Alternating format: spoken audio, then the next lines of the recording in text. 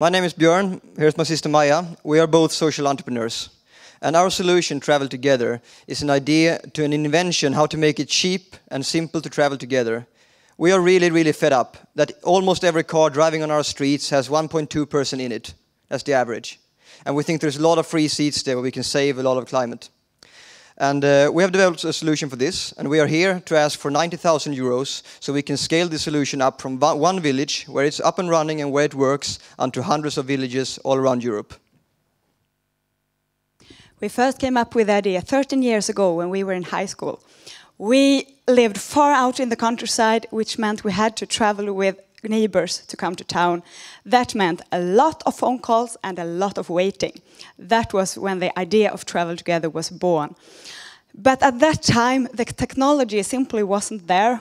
So instead, my brother here went to Nepal. And I spent the last 10 years in Nepal building up social businesses. I built one company in recycling and, and uh, biofuel. I built one company in IT. We have a total of 50 employees and we've been running profitable since 2005. Uh, at the same time, my sister has been working here in Sweden to build up her own company working with sustainability and with behavioral change. And all of a sudden, it was 2010, I had an IT company that builds mobile technology. She had a company working with behavioral change in rural uh, communities. And the technology was there and we were ready. So we started Travel Together. And the system works like this. Um, you can access the system either through your mobile phone or on your computer.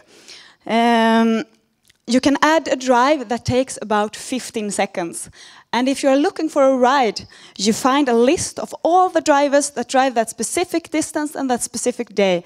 You also find the bus in that list. So you choose who you want to travel with and click on book. Then an SMS is sent to the driver that can either uh, accept or deny the booking.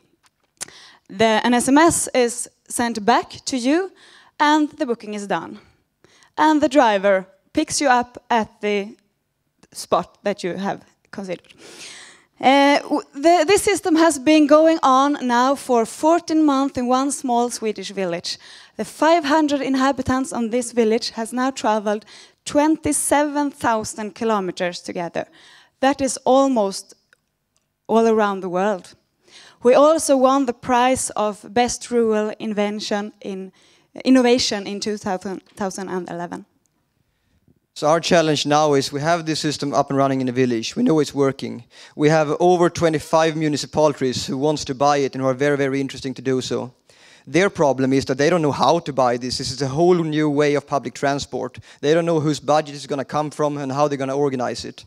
What we are looking for is we need two things. We need the time that it takes to work together with these municipalities for maybe one, one year up to the time when they can actually come to decision and start pushing this out into several villages. At the same time, we need to invest more in technology to build up our system to a platform that can handle not one or two, but hundreds of villages. And for that, we're looking for 90,000 euros. Thank you.